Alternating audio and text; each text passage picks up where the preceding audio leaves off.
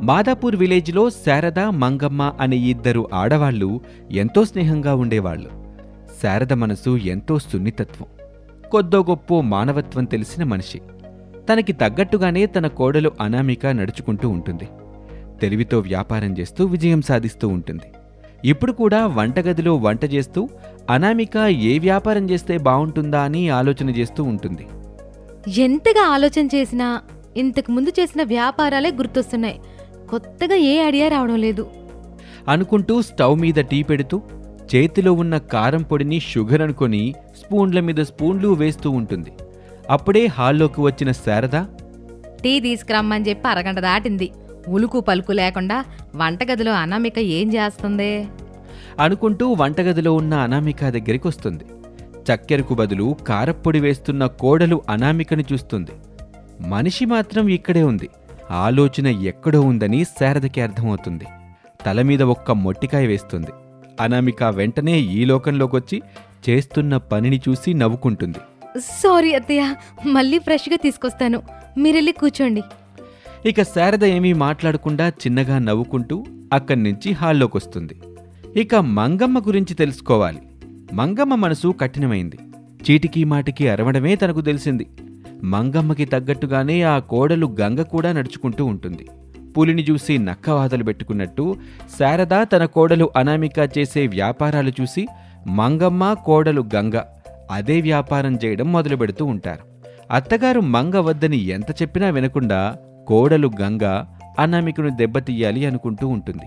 కానీ ప్రతిసారి తానే దెబ్బలు తింటుంది. అయినా మంగకి గంగకి బుద్ధి రాదు. తనకు లాభం రాకపోయినా పర్వాలేదు కానీ అనామికకి మాత్రం నష్టం తీసుకురావాలని వాళ్ళు విశ్వ ప్రయత్నాలు చేస్తూ ఉంటారు. ఒకరోజున శారత్తో అనామిక ఇలా అంటుంది. అత్తయ్య ఎండాకాలం పోయి వర్షాకాలం వచ్చింది. నిన్నటి వరకు ఎండాకాలం కాబట్టి ఐస్ క్రీమ్స్ పుచ్చకాయలు కొబ్బరి బొండాలు ఇలా రకరకాల వ్యాపారాలు చేశాం. ఇప్పుడు వర్షాకాలం వచ్చింది కదా వేడివేడిగా ఉండేలా ఏ వ్యాపారం పెడదాం అత్తయ్య? పానీపూరి వ్యాపారం పెడదాం అనామిక. ఎక్కడ పెడదాం అత్తయ్య? ఇంకా ఎక్కడే కోడ్ల మన చెట్టు ఉంది కదా ఆ చెట్టు కింద తోపుడు బండి మీద పెట్టి అమ్ముదాం. ఇప్పటి వరకు ఎవరో పానీపూరి వ్యాపారం పెట్టలేదు కాబట్టి మనం పెడదాం. మంచి లాభాలు సాధిద్దాం. అలాగే అత్తయ్య. అని శారద అనామిక ఇద్దరూ మాట్లాడుకుని రెండు మూడు గంటల తర్వాత చెట్టు కింద తోపుడు బండి మీద పానీపూరి వ్యాపారాన్ని పెడతారు. పానీపూరి. గరం గరం పానీపూరి. తినేటప్పుడు వేడిగా ఉంటేనే డబ్బులివ్వండి తల్లులు. రావాలమ్మా రావాలి. తాజా తాజా గరం గరం పానీపూరి. అంటూ శారద అక్కడ పానీపూరి అమ్ముతూ ఉంటుంది. ఆ దారిన వెళ్తున్న వాళ్ళు వేడివేడి పానీపూరి తినాలనుకున్న వాళ్ళు వచ్చి పానీపూరి తినిపోతూ ఉంటారు. కోడలు అనామిక బండి పక్కనే నిలబడి అడిగిన వాళ్ళకు పానీపూరి ఇస్తూ ఉంటుంది. డబ్బులు తీసుకుని డబ్బుల డబ్బాలో వేసుకుంటూ ఉంటుంది. శారద తన కోడలు అనామిక వ్యవహారం ఇలా ఉంటే ఇక మంగమ్మ కోడలు గంగతీరు అదో టైపు. అత్తయ్య ఆ అనామిక వాళ్ళ ఇంటి నుంచి ఏ చప్పుడు లేదు. ఏం చేస్తున్నారో చూసి చెప్పండి కొంచెం. ఆ మాట విని అత్తగారు మంగమ్మ బయటికొచ్చి శారద ఇంటివైపు చూస్తుంది. తాళం వేసి కనిపిస్తుంది. వెంటనే పరుగున గంగ దగ్గరకొచ్చి తాళం వేసి కనిపించిన విషయం కోడలికి చెప్తుంది. అంతే గంగ గుండెల్లో గుబులు రైలు పరిగెత్తటం మొదలు పెడుతుంది. వామ్మో అత్తయ్య అనామిక తెలివిగా ఏదో వ్యాపారం మొదలుపెట్టినట్టుంది. అదేంటో చూసి మనం కూడా పెట్టాలి పదా? అని అత్తాకోడలు మంగమ్మ గంగా ఇంటికి తాళం వేయకుండానే అనామికను వెతుక్కుంటూ పరుగులాంటి నడకతో చెట్టు దగ్గరికి చేరుకుంటారు. అక్కడ శారద అనామిక చేస్తున్న పానీపూరి వ్యాపారాన్ని చూస్తారు. ఆ బండి దగ్గర జనం గుమిగుడు ఉండడం చూస్తారు. వామ్మో అత్తయ్య ఆ అన్నమిక లాభపడిపోతుంది. పదా పదా. మనం కూడా గరం గరం పానీపూరి వ్యాపారం మొదలు పెట్టాలి. అనుకొని ఒక రెండు మూడు గంటల తర్వాత అదే చెట్టు కింద మరొక పక్క అనామిక బండి పక్కగానే గంగ పానీపూరి బండి పెడుతుంది. రెండమ్మా రండి. గరం గరం పానీపూరి. పదికి పది. రావాలమ్మా రావాలి. గరం గరం పానీపూరి. అంటూ గంగ గొంతు పోయేలా అరుస్తూ ఉంటుంది. ఏ ఒక్కరూ గంగ దగ్గర పానీపూరి తింటం లేదు. పక్కన ఉన్న అనామిక దగ్గరే పానీపూరి తింటూ ఉంటారు. బాగుందని చెప్పి పార్సిల్స్ కూడా తీసుకెళ్తూ ఉంటారు. అప్పుడే గంగకు బాగా తెలిసిన శాంతి కూడా అనామిక దగ్గరే పానీపూరి తిని పార్సిల్ తీసుకుని వెళ్తూ ఉంటుంది. శాంతికి గంగ అడ్డుపడుతుంది. ఏంటే శాంతి? ఇక్కడ నేను కూడా అమ్ముతున్నాను కదా. గరం గరం పానీపూరి. నేను నీకంటే కనిపించడం లేదా? నీ దగ్గర తీసుకుంటే పానీలో పూరి ఎక్కడని వెతుక్కోవాలి. అదే అనామిక దగ్గర అయితే పానికి పాని పూరికి పూరి ఉంటాయి. అందుకే అక్కడ తీసుకున్నాను. అని చెప్పి అక్కడి నుంచి వెళ్ళిపోతుంది శాంతి. అది విని శారద అనామిక అత్తాకోడళ్ళు నవ్వుకుంటూ ఉంటారు. చీకటి పడ్డాక శారద అనామిక ఇంటికొస్తారు. మంగమ్మ గంగ కూడా వాళ్ళ ఇంటికి వెళ్తారు. ఇంట్లో ఉండాల్సిన టీవీ ఫ్రిడ్జు బీరువా మంచాలు సోఫా సెట్లు. అన్నీ దొంగలెత్తికెళ్ళిపోతారు. అది తలుచుకొని ఏడుస్తూ ఉంటారు గంగా మంగమ్మ. ఈ విషయం తెలుసుకున్న శారద అనామిక వాళ్ళనే పానీపూరి అమ్ముకోమని చెప్తారు. కొన్ని రోజులు గడిచిన తర్వాత అదే చెట్టు కింద కోడలు అనామిక పూరి బఠానీ వ్యాపారాన్ని మొదలుపెడుతుంది రండి బాబు రండి. గరం గరం పూరి బఠానీ. రెడీ అవుతుంది బాబు. సింగిల్ ప్లేట్ ఇరవై రూపాయలు. డబుల్ ధమాకా నలభై రూపాయలు. కావాలంటే ఫ్యామిలీ ప్యాక్ కూడా ఉంటుంది. అంటూ శారద అనామిక అమ్ముతూ ఉంటారు. పూరి బఠానీ ఇదేదో వెరైటీగా ఉందని పబ్లిక్ వాళ్ళ దగ్గరకొచ్చి కొనుక్కొని వెళ్ళిపోతూ ఉంటారు. అది చూసి నోరు తెరుస్తారు మంగమ్మ గంగ అత్తాకోడళ్ళు ఏం మంగమ్మ గరం గరం పూరి బఠానీ కావాలా? డబ్బులు కాదులే ఊరకే తీసుకో. అయితే ఇవ్వండి నాకొకటి నా కోడలకొకటి ఇవ్వండి. మీ ఆయనకి నీ కొడుక్కి పార్సల్ గట్టివనా ఆ మాట విని మంగమ్మ మూతి ముడుచుకుంటుంది. అది చూసిన శారద ఆ అత్తాకోడలికి చెరొక ప్లేట్ పూరీ బఠానీ ఇస్తుంది. వాటిని తీసుకుని ఆ అత్తాకోడలిద్దరూ కరువు ప్రాంతం నుంచి వచ్చిన వాళ్ళలాగా గబగబా తినేస్తారు. అనామిక నీ ప్లేట్ పూరి బఠానీ బాగుంది. మరి ఆలస్యం ఎందుకు చెప్పు? మీ అత్తాకోడలెళ్ళి పూరి బఠానీ వ్యాపారం మొదలుపెట్టండి మరి.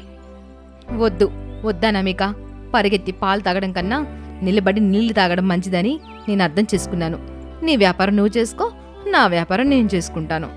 అని చెప్పి అక్కడి నుంచి తమ పానీపూరి బండిని తీసుకుని దూరంగా వెళ్ళిపోతారు ఆ అత్తాకోడలిద్దరు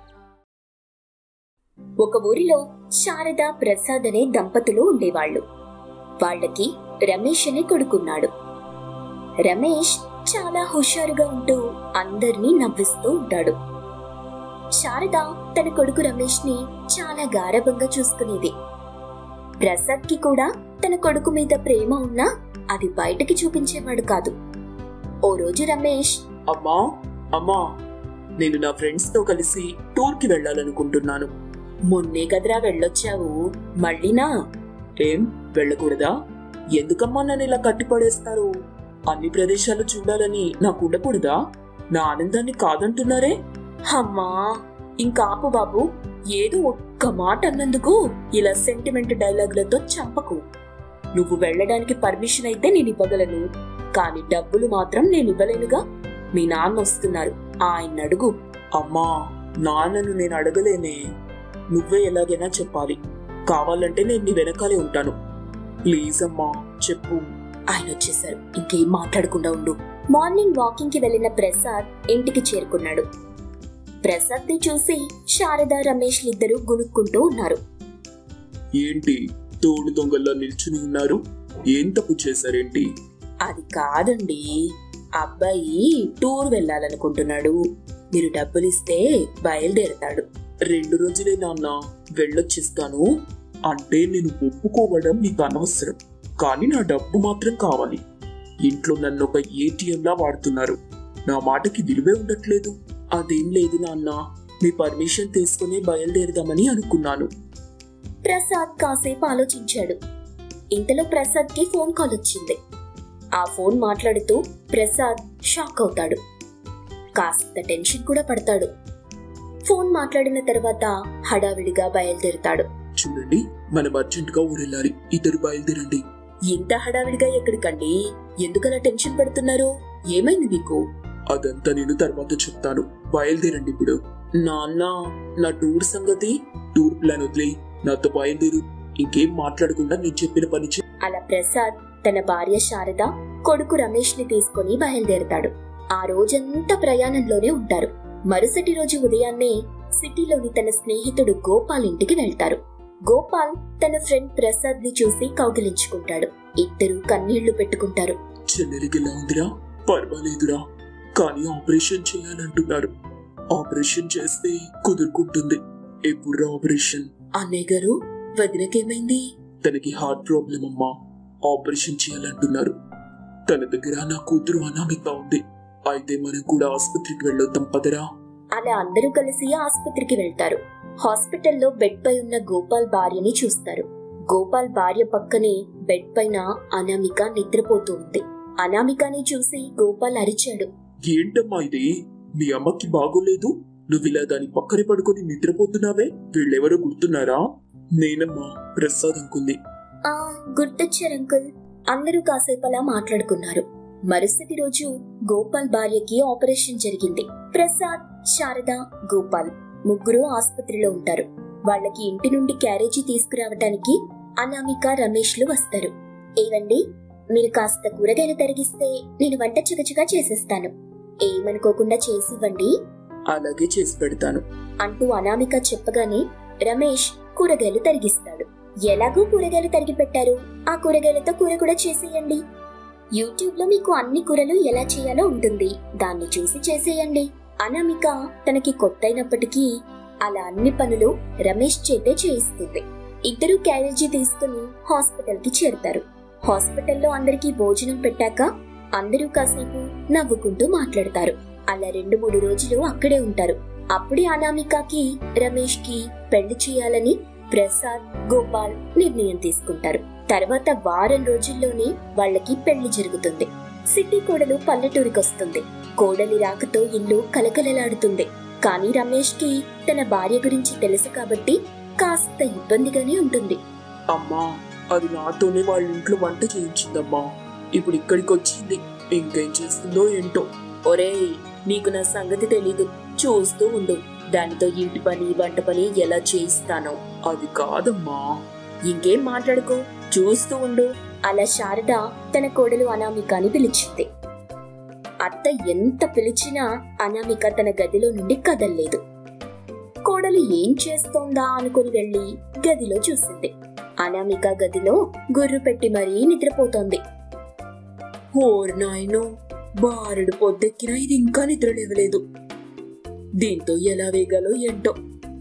అమ్మా అనామిక అనామిక నిద్ర లేవమ్మా. లేచి ఇంటి పనులు చూడు. లేవమ్మా లే. అత్తయ్య కాసేపు పడుకుంటాను అత్తయ్య. లేవమని చెప్తున్నానా? లేవవే. అలా శారద అరిచేసరికి అనామిక నిద్రలేచింది. నిద్రలేచాక శారద కొన్ని పనులు పురమాయిస్తుంది. ఇల్లుడ్చమని పాత్రలు కడగమని చెప్పింది. బద్ధకంగా ఉండటం వల్ల అనామిక తన తెలివిని ఉపయోగిస్తుంది. ఇల్లు ఉడ్చడానికి టేబుల్ ఫ్యాన్ ఉపయోగిస్తుంది. ఫ్యాన్ని ఇల్లు మొత్తం తిప్పుతూ గాలికి చెత్త కొట్టుకుపోయేలా చేస్తుంది. పాత్రల్ని కూడా వాషింగ్ మిషన్లో వేసి కాసేపు ఆగక తీస్తుంది. అలా తొందరగా ఆ రెండు పనులు పూర్తి చేస్తుంది. అనామిక చేసిన పనికి శారద నెట్టి బాదుకుంటుంది. ఇలా ఎవరైనా చేస్తారానే? ఏంటి ఆ బద్ధకం? ఇలా ఉంటే కష్టం. అత్తయ్యా అదంతా మీకు అనవసరం. మీరు చెప్పింది చేస్తున్నానుగా శారద ఎంత చెప్పినా అనామిక బద్ధకం వల్ల ఏ పని సక్రమంగా చేయదు. ప్రసాద్ రమేష్లు ఇద్దరు కూడా ఇంటి దగ్గర ఎక్కువగా ఉండరు. అలా కొన్ని రోజులు గడుస్తుంది. అనామికలో మార్పు రాలేదు. కోడలి గురించి బాగా అర్థం చేసుకున్న శారద ఇక చచ్చినట్టు తనే అన్ని పనులు చేసేది. శారదని చూసి రమేష్ నవ్వుకునేవాడు. శారద కూడా రమేష్ దగ్గర కొన్ని పనులు చేయిస్తూ ఉండేది. బద్దకపు కోడలున్న ఆ ఇల్లు అలా సాగిపోతూ ఉండేది.